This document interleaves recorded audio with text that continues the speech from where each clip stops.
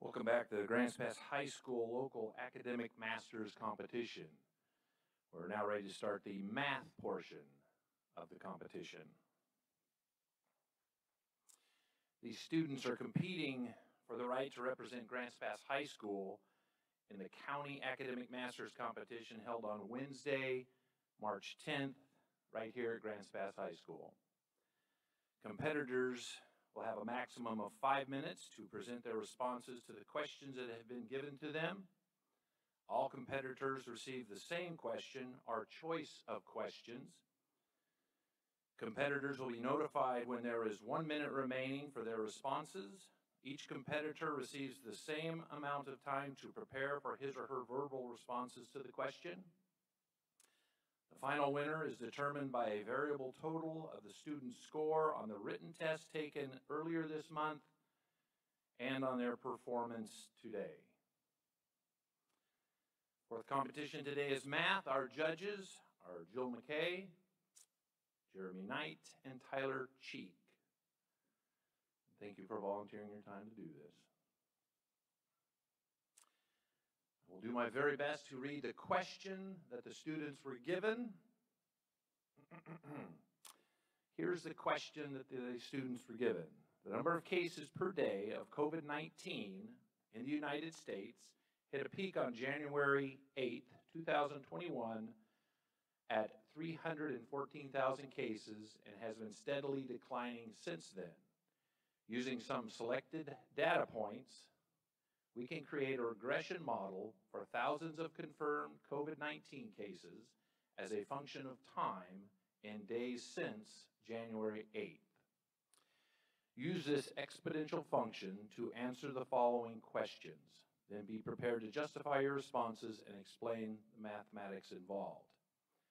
A, according to this model, on what date will the number of confirmed daily COVID-19 cases reach 60,000 in one day? B, using this model function, compare the average rate of change from January 9th to February 9th to the instantaneous rate of change on February 9th. Interpret these values in context of the pandemic. C, now suppose another reporter at the Grants Pass Daily Courier is writing a different article and needs help writing an opening statement accurately and specifically using the model function from above.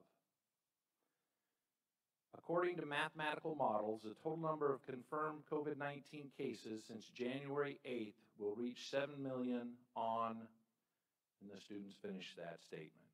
And D, according to this model, will the number of COVID-19 cases in the USA ever reach zero? Explain the implications of this. That was the mathematic question the kids were presented.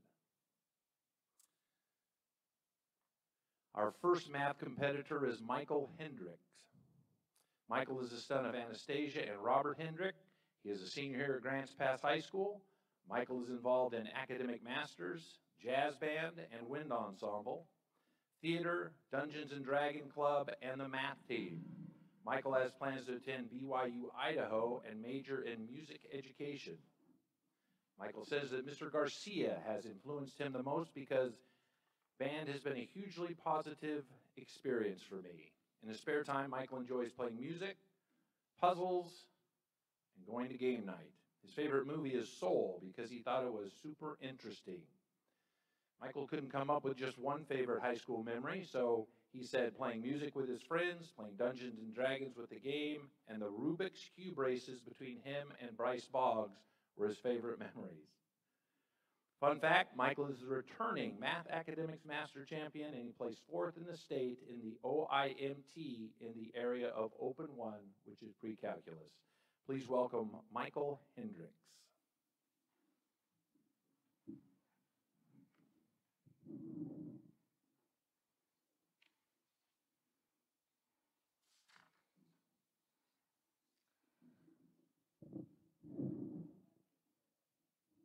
Oh, okay.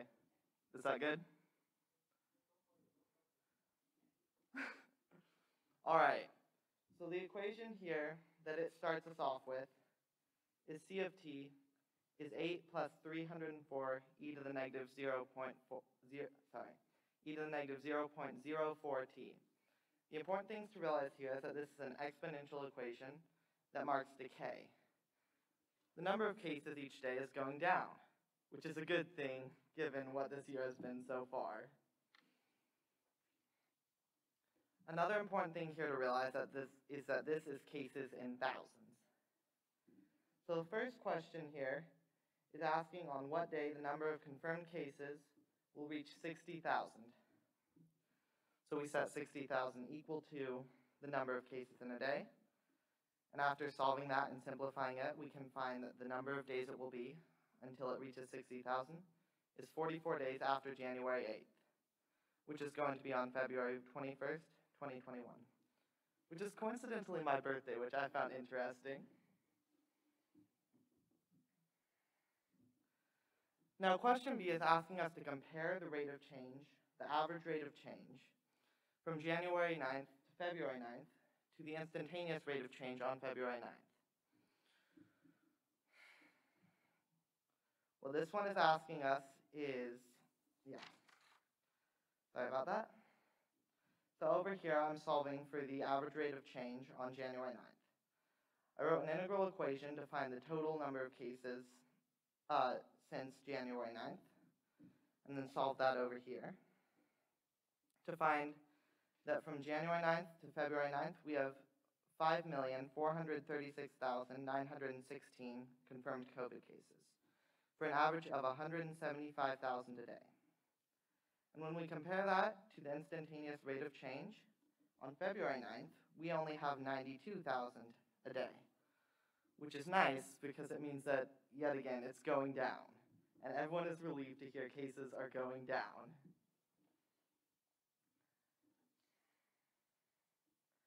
Now, C here was asking at what point in time we would reach 7 million cases total. Since January 8th, of course. So over here, I use the equation that I created earlier, the integral equation, and set that equal to 7 million cases.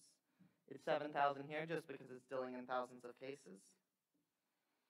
And once I solved for that, I found that the number of days would be 51 since January 8th, which ends up being February 28th of 2021.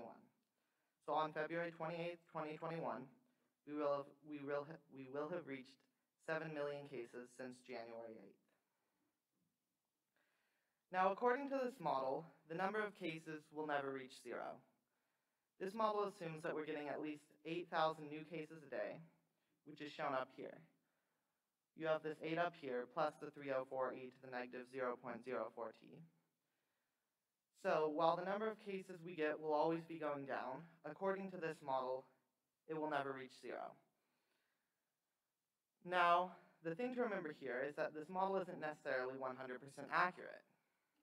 Because as much as looking at this is bleak, and you're like, yeah, we'll never reach zero COVID cases, it doesn't always necessarily reflect real life. It is important to realize the difference between the numbers that we have plotted here and reality. Because as we have more vaccinations being worked on and more precautions being taken, the number of COVID cases each day will continue to go down. And I hope eventually we'll reach zero cases. Once we reach zero, it should be easy enough to keep it there. Thank you.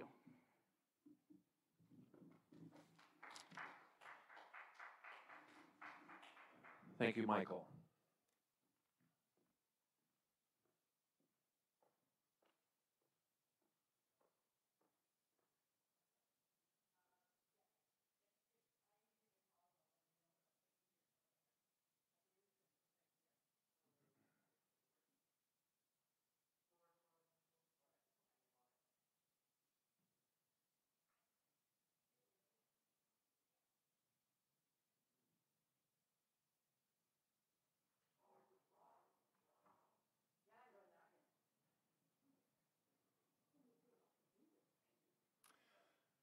We introduce our next math competitor, just like to remind you that this is being live streamed on YouTube and there will be a recording on YouTube if you'd like to share that with people.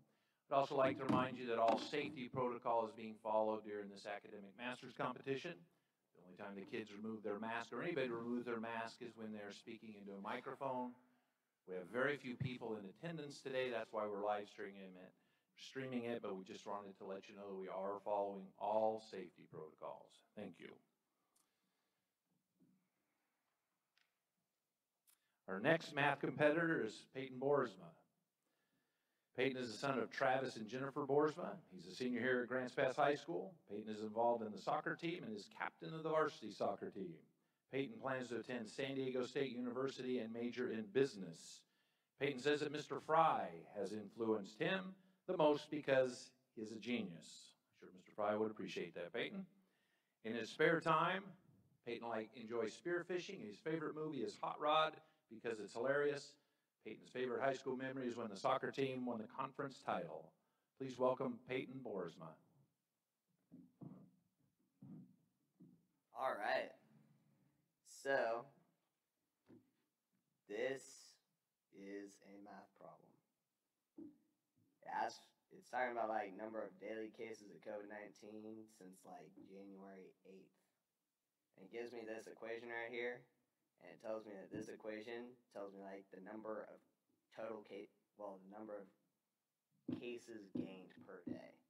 So, like, as you can see, cases, they're going down like a lot every day, which is a good thing.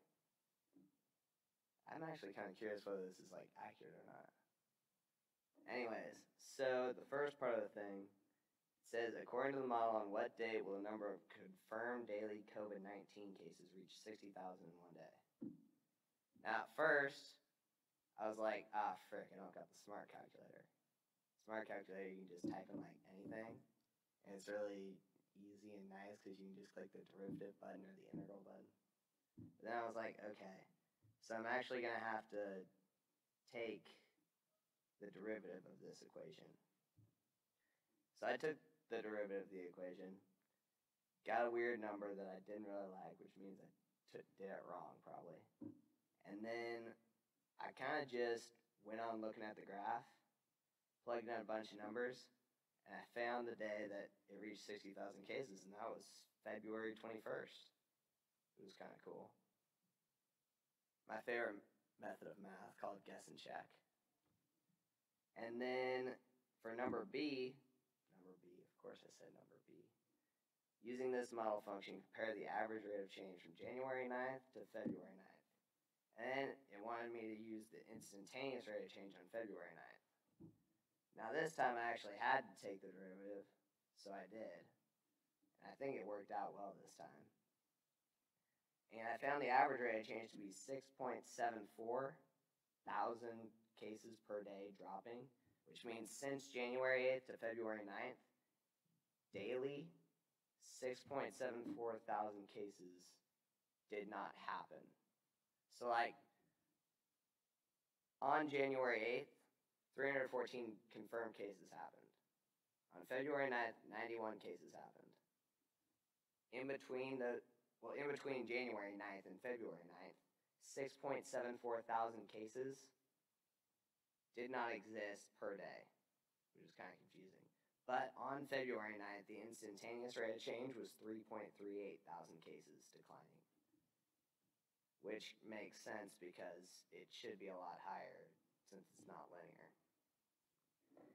Now, the next part of the equation thing said that the Grants Pass Daily Courier needed some help writing an article and wants to know when it will reach 7 million cases. Now, I, I figured out the derivative, but for integrals, man, it's been a while. I did not know how to do the integral. So I used the old way of solving things where you do uh, the number of cases on day zero plus the number of cases on day one plus the number of cases on day two, and so on but I know it's a curve, so that means there's gonna it's gonna take a couple extra days that you have to add on to it. So my math got me to like February twenty third. So I thought that I, I actually looked at the curve the wrong way at first. And I thought it was gonna end up being like February twenty first ish. Because I was thinking that you had to add on numbers. You actually have to subtract which means that I got around February 28th, which is the day I picked. And then for the D part, it asked if it ever hits zero. And I said no. It's impossible to hit zero because the graph has a little 8 right here. And that 8 means there has to be at least 8,000 cases per day. And that's not realistic, but it, this is probably the most accurate graph that they could have done since no graph is perfect. So, yeah, that's basically my answer. Boom.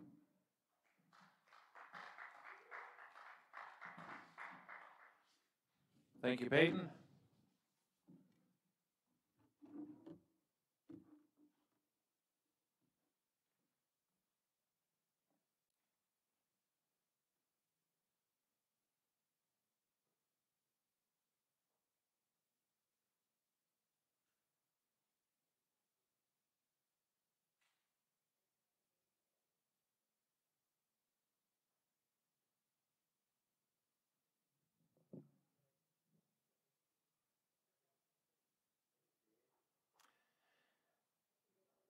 Our next math competitor is Parker Pastrell.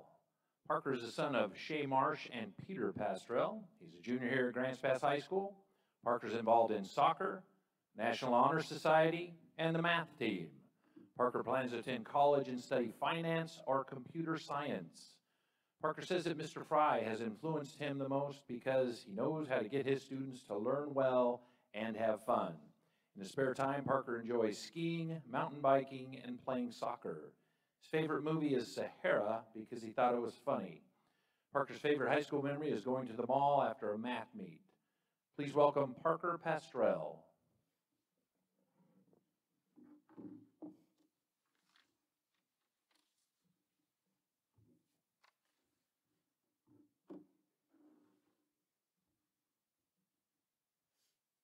All right, hello.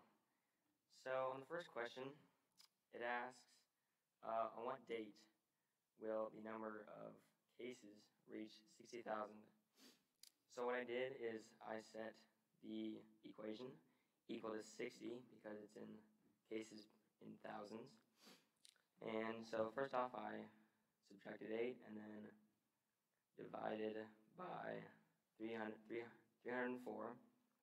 And then I was left with 52 over 304 is equivalent to e to the negative 0.04t. And then I took the natural log of both sides to get rid of the e. And then divided that both sides by negative 0.04. And I was left with a t value of 44.1446. So uh, with that, I figured out that after 44 days, uh, after January 8th would be February 21st, but this value was too too high to have reached 60,000. So uh, I predict that the number of cases would reach 60,000 per day on February 22nd. Uh, the second question asks, what is the average change from January 9th to February 9th. And way I solved this was using the slope uh, equation. And so I found the values for one day after January 9th and uh, February 9th. So I plugged in my y values and x values and got a slope of negative 6.745. Uh, and then, so interpret this, each day the number of cases dropped by about 6.745 thousand each day between January 9th and February 9th. Now the but the now the instantaneous uh, rate of change for February 9th, I calculated by finding the derivative of the equation, and I was left in the derivative. I got 304 e to the negative 0.04 t times negative 0.04, and I got negative 3.38. Now this was less or not as steep a slope as from January 9th to February 9th, but on February 9th, the instantaneous rate of change was negative 3.38, so the number of cases was decreasing by 3.38 thousand a day on that date.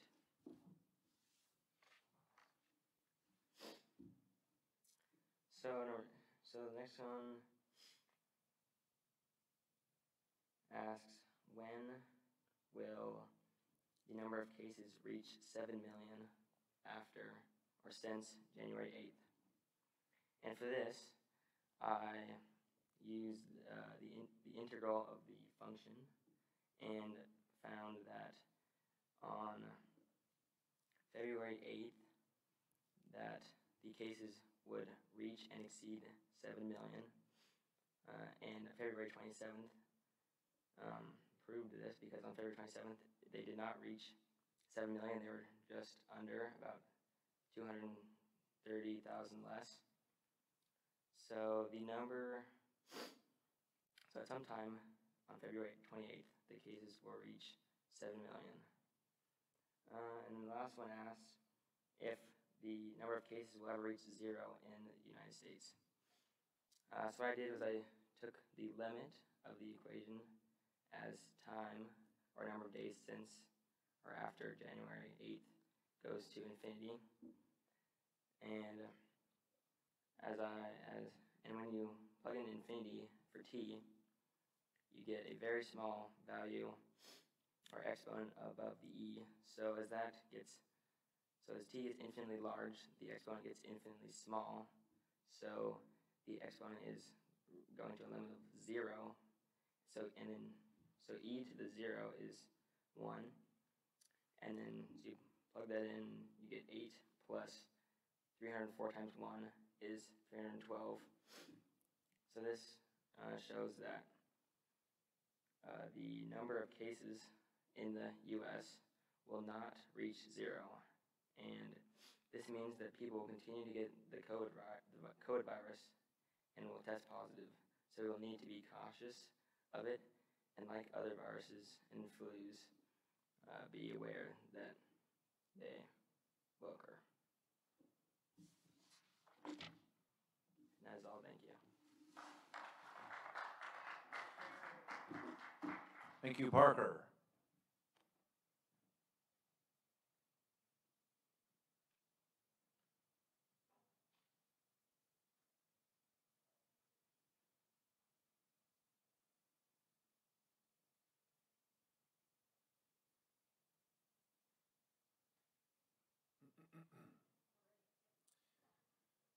Our final math contestant is Alex Guyman. Alec is the son of Matt and Sarah Guyman.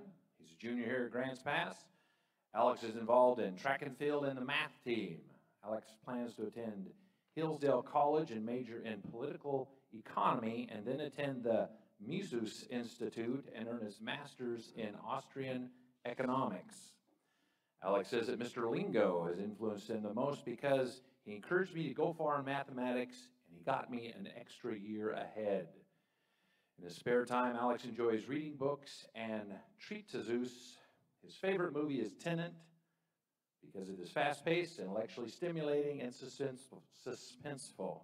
Please welcome Alex Guyman.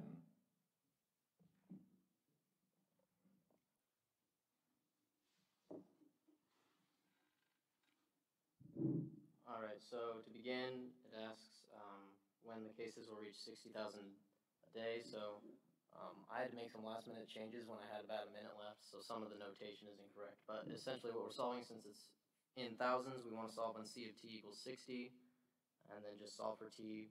Use the natural logarithm to get it out of the, the exponent, and solve for t, and you get t equals 44, and 44 days from January 8th is February 21st. And there's some a decimal tagged onto 44, but since we want not the exact minute, we want the day, then we can just round that. Um, as for B, we want the average rate from January 9th to February 9th, compared with the instantaneous rates over the average rate. It's just the standard uh, delta C of t over delta t. We can solve that and we get negative 6.695. And then to get the instantaneous rate, we of course need to use the derivative. Um, so we take the derivative of c and solve that at 32, which is the time uh, that February 9th is, and we get negative 3.381. Um, so in this context, essentially what that means is the rate in which the cases are decreasing, since they're negative numbers per day, uh, is faster over the average than is the average rate that the cases are decreasing. Is faster than the average rate is, or instantaneous rate is decreasing on February 9th itself. Um, so that like medically speaking, well, we can attribute that to either vaccinations or herd immunity because exponentially speaking, as more people either get the disease or the vaccinations, and fewer fewer and fewer people will be susceptible to it. Um, so the decreasing will, uh, the rate in which it decreases will also decrease. Um, uh, to paraphrase uh, Oscar Wilde, whenever someone has something unpleasant to say, they should always be perfectly candid. Uh, to be perfectly candid, I didn't really finish number C, or letter C, I should say. Um, I ran out of time right when I thought I had a breakthrough. Um, but anyways, so um, because we're aggregating it, we want the aggregate of 7 million, we would do the integral. So we'd set that up, and instead of solving for the integration itself, we're solving for one of the parameters, um, the upper, the upper bound, I guess you could say. But then I, I didn't actually finish that one, unfortunately. Um, and then D, uh, will they ever reach zero? No. Uh, it's an exponential function, so it'll asymptotically approach zero, if that's a word uh, but it'll never actually reach zero. And what this means is whether in our individual lives or through the power of government or whatever, reaching zero cases per day is not a feasible goal because according to this model, it's actually physically impossible. Um, that doesn't mean we shouldn't strive to get rid of uh, as much disease as possible, but according to the model, reaching zero exactly is not a, a likely outcome. Thank you.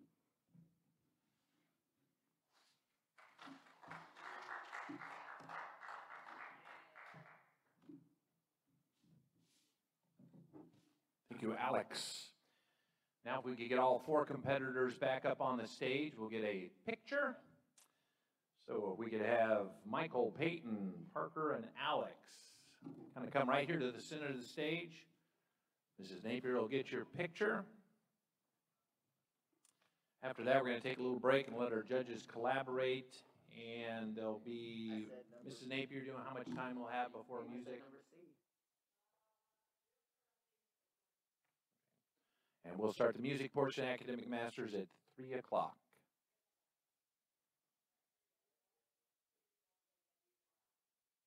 Yeah, you can smile. Congratulations, all four of you. Well done. Well done. Thank you, judges. Thanks again for your helping helping out with our academic masters.